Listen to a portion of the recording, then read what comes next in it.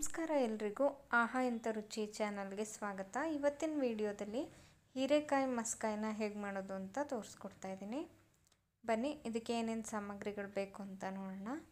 ಹೀರೆಕಾಯಿ ತೊಗೊಂಡಿದ್ದೀನಿ. ಎಳೆ ಹೀರೆಕಾಯಿನ ನಾನು ಕಟ್ ಮಾಡಿ ಇಟ್ಕೊಂಡಿದ್ದೀನಿ. ಬಲ್ತಿದ್ರೆ ನೋಡಿ ಮೇಲ್ಗಡೆ ಸಿಪ್ಪೆನ ಸ್ವಲ್ಪ ತೆಗಿಬೇಕು. ನಾರಿನ ಅಂಶನ ತೆಗೆದುಬಿಡಿ. ಎಳೆದಾದರೆ ತುಂಬ ಚೆನ್ನಾಗಿರುತ್ತೆ. ಎರಡು ಟೊಮೆಟೊ ಹೆಚ್ಚಿಟ್ಕೊಂಡಿದ್ದೀನಿ. ಕಾಯಿ ತುರಿ ಹಾಗೆ ಒಂದು ನಾಲ್ಕು ಹಸಿಮೆಣಸಿನ್ಕಾಯಿ ಒಂದು ಗಡ್ಡೆ ಬೆಳ್ಳುಳ್ಳಿ ಬಿಡಿಸಿಟ್ಕೊಂಡಿದ್ದೀನಿ ಒಂದು ಈರುಳ್ಳಿ ಹೆಚ್ಚಿಟ್ಕೊಂಡಿದ್ದೀನಿ ಹಾಗೆ ಕೊತ್ತಂಬರಿ, ಒಂದು ಕಪ್ ತೊಗರಿಬೇಳೆ, ಅರಿಶಿನ, ಜೀರಿಗೆ ತೊಗೊಂಡಿದ್ದೀನಿ ಒಂದು ಸ್ಪೂನು ಹಾಗೆ ಒಗ್ಗರಣೆಗೆ ಬೆಳ್ಳುಳ್ಳಿ, ಸಾಸಿವೆ, ಸ್ವಲ್ಪ ಕೊತ್ತಂಬರಿ, ಕರಿಬೇವು, ಉಪ್ಪು ಮತ್ತು ಎಣ್ಣೆ ತೊಗೊಂಡಿದ್ದೀನಿ ಇಲ್ಲಿ ಅರ್ಧ ಲೀಟರಷ್ಟು ನೀರು ತೊಗೊಂಡಿದ್ದೀನಿ ಹಾಗೆ ಈ ಬೌಲ್ಗೆ ಒಂದು ಸ್ಪೂನಷ್ಟು ಧನಿಯಾ ಪುಡಿ ಮತ್ತು ಒಂದು ಸ್ಪೂನಷ್ಟು ಅಚ್ಕಾರದ ಪುಡಿನ ಹಾಕಿಟ್ಕೋತಾ ಇದ್ದೀನಿ ಈಗ ಮೊದಲಿಗೆ ಒಂದು ಕುಕ್ಕರ್ನ ತೊಗೊಂಡು ಅದಕ್ಕೆ ತೊಗರಿಬೇಳೆನ ಹಾಕಿ ಸ್ವಲ್ಪ ಅರಿಶಿನ ಹಾಕ್ಕೊಳ್ಳಿ ನಂತರ ಒಂದು ಸ್ಪೂನಷ್ಟು ಎಣ್ಣೆನ ಅಥವಾ ತುಪ್ಪ ಯಾವುದಾದ್ರೂ ಆಗುತ್ತೆ. ಹಾಕ್ಬಿಟ್ಟು ಚೆನ್ನಾಗಿ ಮಿಕ್ಸ್ ಮಾಡಿ. ನಂತರ ಅದಕ್ಕೆ ಹೀರೆಕಾಯಿ, ಟೊಮೆಟೊ, ತೆಂಗಿನಕಾಯಿ ನಾವೇನೇನು ತೊಗೊಂಡಿದ್ವಿ ಅದನ್ನು ಸೇರಿಸ್ಬೇಕು ಇದರಲ್ಲಿ. ಕೊತ್ತಂಬರಿ, ಈರುಳ್ಳಿ, ಹಸಿಮೆಣಸಿನ್ಕಾಯಿ, ಬೆಳ್ಳುಳ್ಳಿ ಮತ್ತು ಜೀರಿಗೆ. ಇದಿಷ್ಟನ್ನು ಕೂಡ ಹಾಕ್ತಾಯಿದ್ದೀನಿ ನಾನು ಒಂದು ಸ್ಪೂನಷ್ಟು ಜೀರಿಗೆ ಹಾಕಿದ್ದೀನಿ. ಇವಾಗ ಇದಕ್ಕೆ ಒಂದು ಅರ್ಧ ಲೀಟರಷ್ಟು ನೀರನ್ನ ಹಾಕ್ತಾ ಇದ್ದೀನಿ. ಬೇಳೆ ನೆನೆಸ್ಬಿಟ್ಟು ಹಾಕ್ಕೊಂಡ್ರೆ ಇನ್ನೂ ಬೇಗ ಬೇಯುತ್ತೆ. ಸ್ವಲ್ಪ ಉಪ್ಪು ಹಾಕ್ಬಿಟ್ಟು ಇದನ್ನು ಒಂದು ಮೂರು ವಿಷಲ್ ಕೂಗಿಸ್ಕೋಬೇಕು.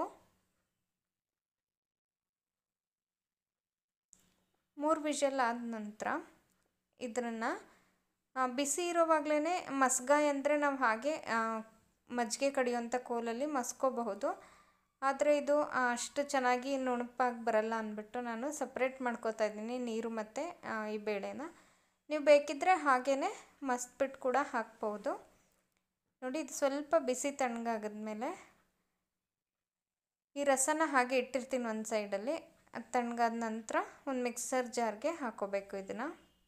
ಇದನ್ನು ಒಂದು ರೌಂಡ್ ಬ್ಲೆಂಡ್ ಮಾಡ್ಕೋಬೇಕು ಈ ಥರ ನೀರೇನು ಸೇರಿಸ್ತೇನೆ ಜಸ್ಟ್ ಒಂದು ರೌಂಡ್ ಆನ್ ಆಫ್ ಮಾಡಿದ್ರೆ ಸಾಕು. ಈಗ ಅದನ್ನು ಒಂದು ಸೈಡಲ್ಲಿ ಇಟ್ಬಿಟ್ಟು ಒಂದು ಸಾಂಬಾರು ಮಾಡುವಂಥ ಪಾತ್ರೆನ ಇಟ್ಟು ಸ್ವಲ್ಪ ಎಣ್ಣೆ ಹಾಕ್ತಾಯಿದ್ದೀನಿ ಅದಕ್ಕೆ ಸಾಸಿವೆ, ಕರಿಬೇವು ಮತ್ತು ಬೆಳ್ಳುಳ್ಳಿ ಸ್ವಲ್ಪ ಗೆಜ್ಬಿಟ್ಟು ಹಾಕೋಬೇಕು. ಸಿಪ್ಪೆ ತೆಗೆದಿರೋ ಬೆಳ್ಳುಳ್ಳಿ. ಇವಾಗ ಸಾಸಿವೆ ಸ್ವಲ್ಪ ಸಿಡಿದ ಮೇಲೆ ಅದಕ್ಕೆ ನಾವು ಬ್ಲೆಂಡ್ ಮಾಡಿ ಇಟ್ಕೊಂಡಿರುವಂಥ ಬೇಳೆ, ಹೀರೆಕಾಯಿನ ಹಾಕಬೇಕು. ಇದರಲ್ಲಿ ಹೀರೆಕಾಯಿ ಎಲ್ಲ ಸ್ವಲ್ಪ ಏನು ತರಿ ತರಿ ಥರನೇ ಇದೆ ನೋಡಿ. ಅಷ್ಟು ಹದದಲ್ಲೇ ರುಬ್ಕೊಳ್ಳಿ. ಸಣ್ಣಕ್ಕೆ ಪೇಸ್ಟ್ ಮಾಡಿಕೊಂಡ್ರೆ ಚೆನ್ನಾಗಿರಲ್ಲ. ಈಗ ಇದನ್ನು ಚೆನ್ನಾಗಿ ಮಿಕ್ಸ್ ಮಾಡ್ತಾ ಇದ್ದೀನಿ. ಉಳಿದಿರೋಂಥ ರಸ ಕೂಡ ನಾನು ಸೇರಿಸ್ತಾ ಇದ್ದೀನಿ. ನಿಮಗೆ ಎಷ್ಟು ಗಟ್ಟಿ ಬೇಕೋ ಅದನ್ನು ನೋಡ್ಕೊಂಡು ಹಾಕ್ಕೊಳ್ಳಿ ಈಗ ಫೈನಲಾಗಿ ಧನಿಯಾ ಪುಡಿ ಮತ್ತು ಅಚ್ಕಾರದ ಪುಡಿ ಹಾಕಿ ಚೆನ್ನಾಗಿ ಮಿಕ್ಸ್ ಮಾಡಬೇಕು. ಗಂಟಿಲ್ದೇ ಇರೋ ಥರ ಮಿಕ್ಸ್ ಮಾಡಿಬಿಟ್ಟು ಇದಕ್ಕೆ ರುಚಿಗೆ ಎಷ್ಟು ಬೇಕೋ ನೋಡಿ ಉಪ್ಪನ್ನು ಹಾಕ್ಬಿಟ್ಟು ಕುದಿಯೋದಕ್ಕೆ ಬಿಡಬೇಕು. ಒಂದು ಲಿಡ್ ಕ್ಲೋಸ್ ಮಾಡಿ ನಾನು ಒಂದು ಏಳರಿಂದ ಎಂಟು ನಿಮಿಷ ಲೋ ಫ್ಲೇಮಲ್ಲಿ ಇದನ್ನು ಒಂದು ಕುದಿ ಕುದಿಸ್ಕೊತೀನಿ. ಈಗ ಇದು ಆಲ್ರೆಡಿ ಚೆನ್ನಾಗಿ ಬೆಂದಿರೋದ್ರಿಂದ ತುಂಬ ಕುದಿಸೋ ಅವಶ್ಯಕತೆ ಇಲ್ಲ. ನೋಡಿ ಇವಾಗ ಆಗಿದೆ. ಈಗ ಗ್ಯಾಸ್ನ ಆಫ್ ಮಾಡಿ ಸ್ವಲ್ಪ ಕೊತ್ತಂಬರಿನ ಹಾಕ್ಬಿಟ್ಟು ಗಾರ್ನಿಷ್ ಮಾಡ್ಕೋಬಹುದು. ತುಂಬ ಈಸಿಯಾಗಿ ಆಗುವಂಥ ಒಂದು ಸಾಂಬಾರು ಮುದ್ದೆ ಜೊತೆ, ರೊಟ್ಟಿ, ಚಪಾತಿ ಜೊತೆಗೆ ಚೆನ್ನಾಗಿರುತ್ತೆ. ನೀವು ಸ್ವಲ್ಪ ಗಟ್ಟಿಯಾಗಿ ಮಾಡಿಕೊಂಡ್ರೆ ದೋಸೆ ಚಪಾತಿಗೆ ಚೆನ್ನಾಗಿರುತ್ತೆ.